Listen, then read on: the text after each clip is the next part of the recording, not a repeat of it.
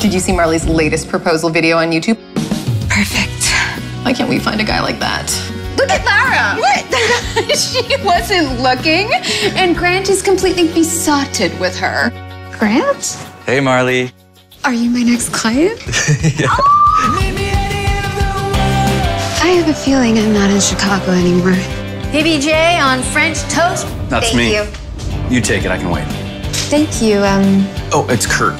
I'm so sorry we have to reschedule our lunch date. Where are you? Um, Seattle. Hello again. I would love to use your beautiful orchard for a proposal. I'm gonna have to stop you there. It's not possible to have the proposal here. This ruins everything. Well, just calm down. Come up with a plan. Step right up. Try and soak me with my own apples. Have you changed your mind on the proposal?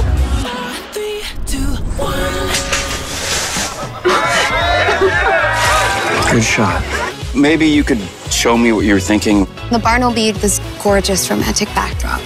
Barn hasn't been used in ages. You should probably get to work. We? I'm all yours. You got this one? Yeah, yeah. Thank you. Your brother has told me a lot about you. You better be staying for dinner, as long as you let me give you a hand. In the city, you're anonymous. Here, it feels like everywhere is home. so you're really a country girl at heart. I really want to make sure that I put family first. That's what I want. To look at my wife in 20 years and feel like the luckiest guy alive. It's so beautiful here the town, people.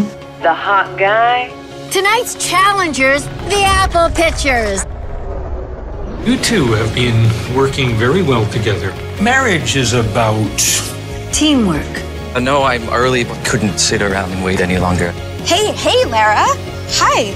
Would you do me the honors? I got moves. I'll be the judge of that. You should probably know that I've already proposed once. It's good to see you happy. I could never be the one to truly do that.